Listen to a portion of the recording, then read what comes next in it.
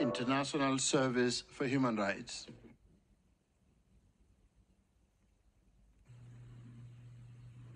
السيد الرئيس يؤسفنا بشدة أن الإمارات رفضت التوصية التي تدعو السلطات للإفراج عن المعتقلين الذين انتهت محكومياتهم لعشر سنوات انتظرنا مع والدتي وإخوتي يوم 22 يوليو 2022 وهو موعد انتهاء محكومية والدي عبد السلام درويش المرزوقي وبعد هذا الانتظار الطويل فوجئنا أنه لم يتم الإفراج عنه وأنه محتجز لأجل غير مسمى بذريعة المناصحة.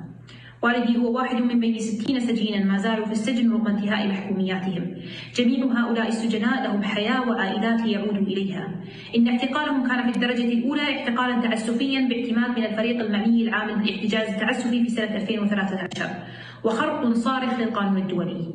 إن رفض الإمارات يعني أن فترة الانتظار الطويلة التي يعيشها أهالي المعتقلين في الإمارات ستستمر إلى ما لا نهاية. كما أننا نعرب عن قلقنا لرفض الإمارات التوصيات من 147 إلى 159 التي تدعو إلى إيجاد بيئة آمنة للمدافعين عن حقوق الإنسان وضمان حرية التعبير عن الرأي.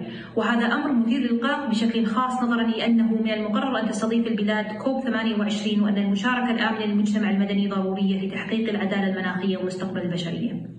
للأسف يبدو أن قدر المدافعين الإماراتيين عن حقوق الإنسان هو أن يكونوا في السجون مثل ما يحدث الآن مع أحمد منصور والدكتور محمد الركن وغيرهم من المدافعين أو أن يعيشوا ويموتوا في المهجر كما حدث لزميلتي وصديقتي آلاء الصديق الرئيس السابق لمنظمة القصد لحقوق الإنسان.